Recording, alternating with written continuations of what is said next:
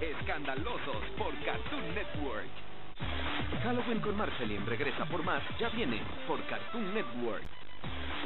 Ya viene Héroe por Cartoon Network. Ya viene Mes de Boomerang por Cartoon Network. Ya viene Mes de Risa por Cartoon Network.